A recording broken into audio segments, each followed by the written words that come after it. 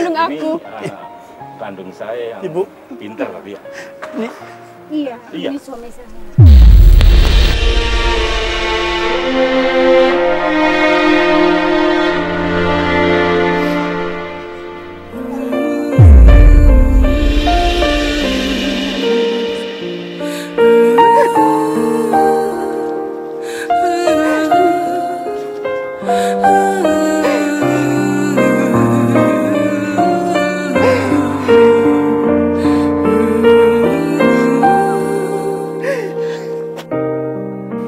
Lah, ini dari kemarin gitu loh, dari kemarin. udah yuk biarin aja, biarin aja tetap diintai dari jauh aja. Gue tahu mau, gue tahu dia, tuh masih sayang banget. Dia sayang itu dan emang marahnya dia itu timbul karena emang dia sangat sayang sama Rindu. Iya gini. Di sini gengs momennya di mana gue lihat kalau ternyata Hengki adalah benar-benar cowok yang baik dan kemarin ya dia cuma benar-benar emosi doang.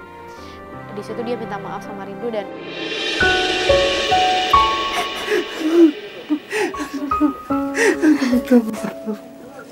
Selama ini aku salah. Aku nggak tahu loh dia bapakku.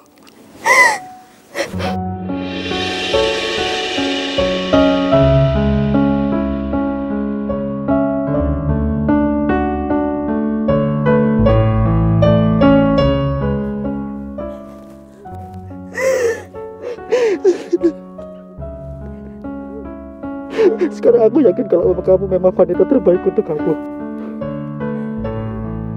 Maafin aku ya. Kamu memang wanita yang baik. Aku gak bakal ninggalin kamu lagi. Gak bakal mutusin kamu lagi. Sekarang di depan bapak dan ibu.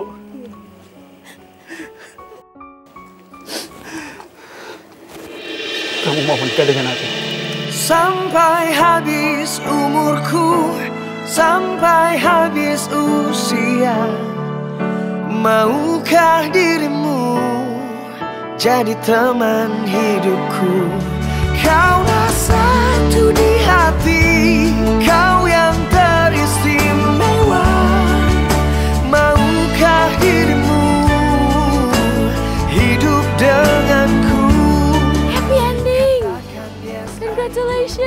Ya ini gengs, ini yang gue bilang sama tim katakan putus kalau memang kita punya tanggung jawab untuk mengurusin kesalahpahaman ini gitu karena memang kita tahu ini semua adalah kesalahpahaman gitu ya kan. Iya benar dan ya satu sih yang gue belajar dari sini terkadang yang namanya kepercayaan memang benar-benar harus dibuktiin dengan yang namanya perilaku gengs. Dan di sini gitu loh, setiap orang memang punya masalah gitu loh guys. Dan setiap masalah pasti akan bisa untuk diselesaikan. Tapi balik lagi ke lo, apakah lo bisa untuk menyelesaikan masa ini dengan baik atau lo akan lari dari masalah ini dan bikin masalahnya akan jauh lebih lebih besar untuk itu menurut gue juga tim katakan putus kasus ini selesai. Gue kembali.